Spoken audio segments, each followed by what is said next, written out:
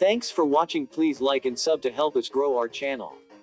Double Hawk for the Sega Master System, released in 1990, is a light gun shooter that takes inspiration from the arcade classic Cabal. Here's our review. Gameplay. Players take on the roles of John Jackson and Jack Thomas, two seasoned veterans called out of retirement to combat international terrorist organizations. The gameplay is stationary, with players locked onto a single screen and enemies parading in front of them. The objective is to maneuver the crosshair over the enemies and shoot, while also dodging incoming fire. Graphics and sound. The game retains a classic 8-bit aesthetic, with visuals that are straightforward yet effective for the time.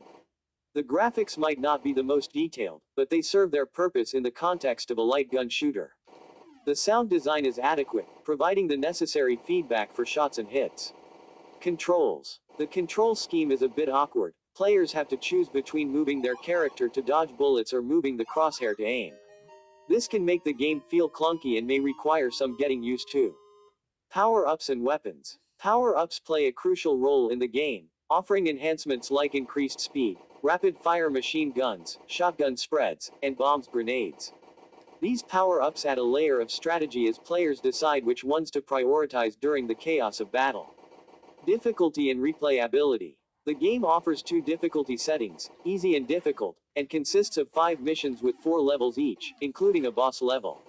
While the main gameplay loop is relatively simple, the challenge comes from mastering the controls and enemy patterns. The pacifist route is an interesting alternative, allowing players to avoid conflict altogether, though it's less engaging. Overall impression. Double Hawk is a decent, albeit simple, shoot 'em up with great two-player action. It's not the most complex or deep game, but it provides a fun and straightforward shooting experience.